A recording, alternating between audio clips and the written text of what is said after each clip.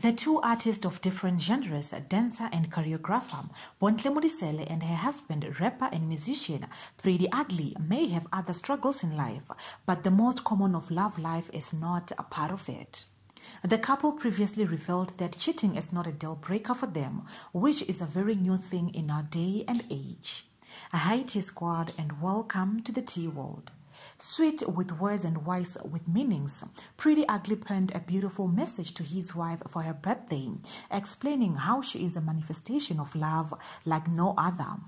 As he praises how she's aging and becoming smarter, wiser, and packed with experience, he further wrote about how she never let the bitterness that life dishes out sometimes wither her faith, her love, and her humanity.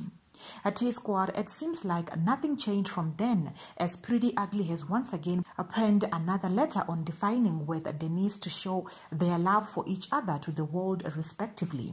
This is what he said. To my beautiful wife and best friend and my soulmate, I fell in love with from the first moment I laid eyes on you. I remember thinking, I wish I could meet her. I hope I do. Fast forward 14 years later, you are my wife and life partner, the mother to our beautiful, ever so amazing daughter. Wow, you have been a physical and spiritual guardian to me. For real, my daily motivation. A heaven sent angel to my family. You are how I know God exists, said Priddy.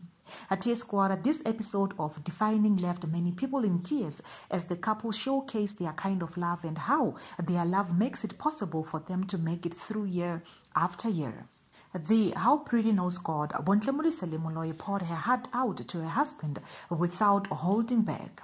This is what she said. I see the God in you. I honor you. I see you. I feel you. I hear you. I love you. I love you loudly and confidently and without hesitation because you make it that easy.